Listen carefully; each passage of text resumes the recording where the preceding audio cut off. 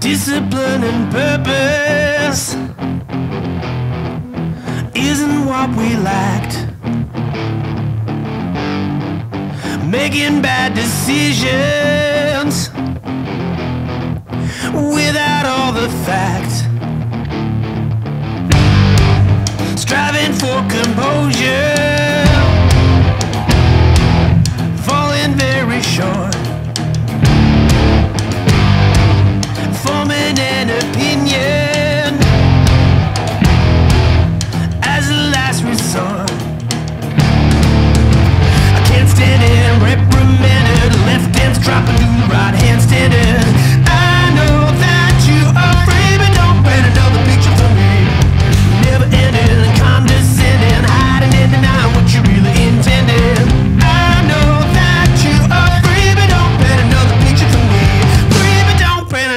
future for me. Now that we're much older.